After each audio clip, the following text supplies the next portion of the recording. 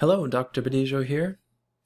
Today we're actually going to learn how to create an orthomosaic by establishing your own plane. Uh, currently here in front of us I have a model of an Incan structure uh, and I'd like to make an orthomosaic of this wall here, making sure that it is flat. Um, there's a couple ways that you can do this. And one way is by just establishing the perfect view yourself, using the little tumbler in the middle, and deciding what looks good, and then going to workflow, orthomosaic, make sure it's click to planar, and then go to current view and hit go, right, and hit OK. And it's going to run the orthomosaic and give you a flat, um, high resolution image of this wall here. It'll actually do the entire whatever's inside of this region, but you can clip it down to be just this wall. And I have another video where I describe how to clip your orthomosaic. But oftentimes people are very concerned with the actual angle and tilt of that plane. Uh, they want to make sure that it follows, uh, for instance, this wall and, and the actual angle of the wall itself. And so what I'm going to do is I'm going to show you how to establish points to create your own plane based on the wall's tilt. So first of all, think of an origin point.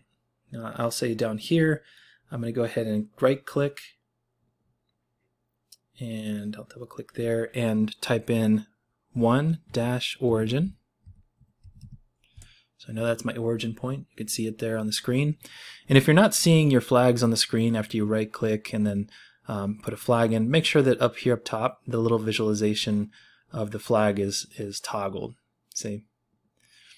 Then you're going to go ahead and establish a horizontal line. So from the origin point going across, I'm going to right click over here and rename it to dash horizontal. Okay, so that is going to be my horizontal line. Origin typically is in the bottom left, right? And then it goes off to the horizontal. Now I'm going to go ahead and create a vertical up over here. Um, usually you just do this above origin. And what it's doing is it's placing these markers on the geometry of the object itself, and so that whatever tilt this wall has, um, it'll it'll adopt that tilt so it's just flat, right? So I'm going to go ahead and rename this to 3 dash vertical. Okay.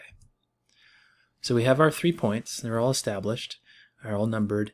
We can go to workflow, build orthomosaic, make sure it's planar, drop this down to where markers is selected, and now make sure that in the horizontal axis you have origin to horizontal and on the vertical axis it has uh, origin to vertical. And if you've done it the way that I did here, it should auto-populate this way. Then you choose the rest of your parameters for the orthomosaic building and you hit OK. So it may take a little while to actually uh, generate your orthomosaic, um, but once it is finished, over here in the top left, you should be able to click on the Ortho tab and see the orthomosaic. So this is like a map view, and it will have scale in the bottom left. Um, and this allows you to zoom in and out, check the um, check your imagery, see if you have any blurry areas or not. Uh, but usually when you do this, you're going to get a high resolution texture um, or high resolution um, image. And in my case here, um, there are some blurry photos. This was a handheld photo set that I took um, kind of in a hurry as I was at the site of Machu Picchu. Uh, but if you were using a tripod while you were doing the photo capture, this is where you actually should get a, a pretty high quality image here. So when you're doing this, you're actually, it's using the entire model's mesh to create this ortho image. Uh, and my advice to you is to trim that down. And the way to do that is to go up here to this little drawing tool draw a polygon, and decide where you want to create some boundaries. So I want to maybe start up here and then come down towards the floor and then come across and up top here. And then I'm going to close it by double clicking. Right, and so now I have a polygon. I'm going to right click that polygon, set boundary type, and I'll call it an outer boundary. This allows the computer to understand that we only want what's within this boundary here when we export. And so now if we wanted to export our orthomosaic, come over here, export, um, decide where you want it. Here I'm just gonna, whoops, I'm gonna go ahead and export here.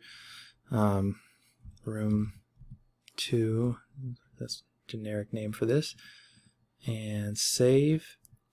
The dialog comes up, and I wanted to make sure it's clicked the uh, the checkbox here, clip to boundary shapes, and then hit OK. And as when it does export, it's only going to give me that image, whatever's inside here. Okay, that's all I have for you guys today. Thank you for watching.